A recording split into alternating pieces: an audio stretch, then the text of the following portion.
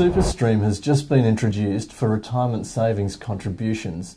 And ATO Program Manager SuperStream, Phillip Hind, is with me today to tell us what it's all about for SMSFs. Welcome, Phillip. Thank you. Welcome. So perhaps we can start by just going through what the SuperStream system is trying to achieve.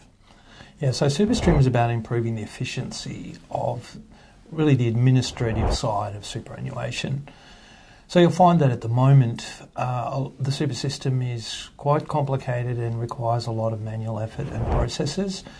Uh, the Cooper Review in 2010 identified up to a billion dollars worth of savings that could be made by reforming uh, the, the, back office administration of superannuation. And so SuperStream is, is introducing that as a major change. It allows uh, contributions to be sent in electronic format, both data and payment. It requires all employers to do that, and all funds who are receiving that to receive it in that format. Okay, so what do SMSF trustees have to be aware of regarding the introduction of this system? So the first thing is they need to be aware that employers from the 1st of July 2014 uh, need to start getting ready to implement the new standard. Now we've allowed quite a lot of time for the implementation, but really uh, from this period onwards, we're seeing the first introduction of the new standard. So what employers are doing are upgrading their payroll systems, collecting new information, getting ready, uh, in some cases beginning to send contributions in this new format. So for a trustee, what that means is they need to provide their employer with some additional information or check that they've got that their employer's got the right information. So there's some important data that's required about an SMSF, including the uh, ABN, Australian Business Number, um, of that fund, um, the bank account, and usually these two pieces of information most employers already have about their trustee, so it's not really new information.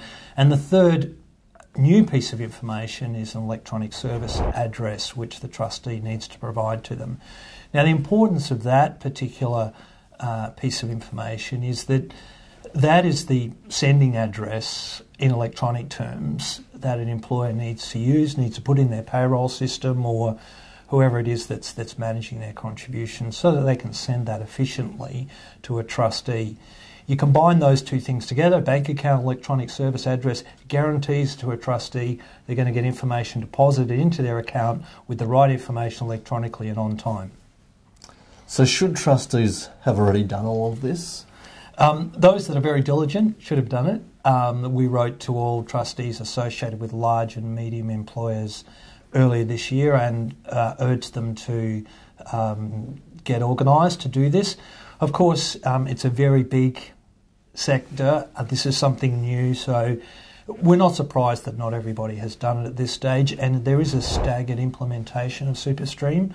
So I mentioned before large and medium employers, so they're first cab off the rank. So any employer that has a business with 20 or more employees is in that first tranche of implementation. They've got until the 30th of June um, 2015 to complete that. So if you're in that group, if you're associated with an employer that's large or medium, you really need to be start thinking now about getting organised and get electronic service address and get this information to your employer.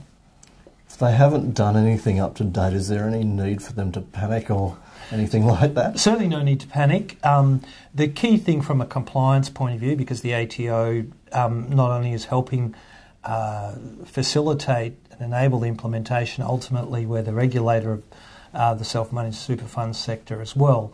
So, there will come a time when we turn our attention to compliance matters, but at this point, uh, we're just trying to make sure that from an education and support perspective, trustees understand their obligations, understand what they need to do. So, in the absence of having done something at this point, the key thing to uh, focus on is make a plan, start making some inquiries, work out arrangements, find out when your employer plans to implement. Uh, reach out to your advisor, your accountant, or someone else who might be able to help you set up that electronic service address. And you've still got time on your side, but don't leave it to the last minute because there's bound to be um, issues with the last minute rush and better not to be in that position. Is there any onus on the SMSF trustee to liaise with the employer to make sure the employer systems are compliant?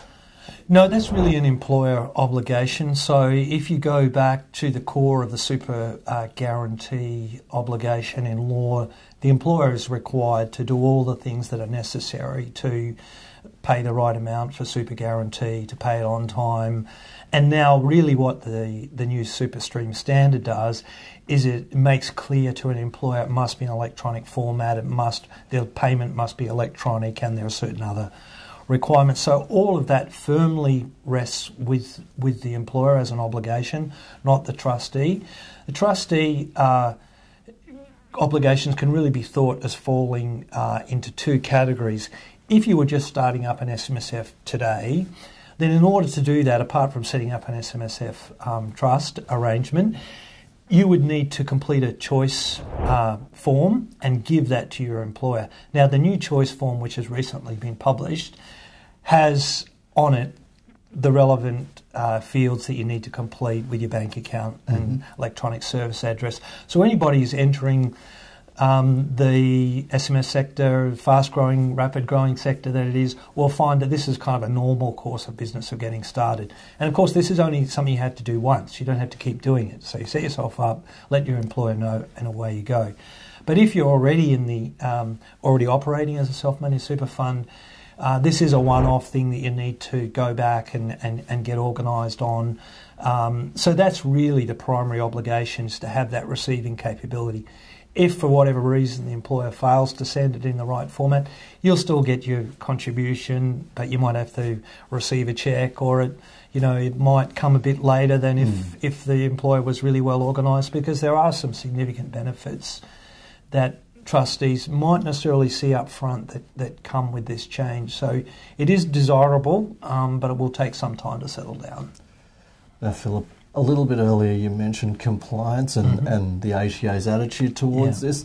At what point in time does it stop being an educational exercise and you would really like everybody to fall into line with the new sure. system?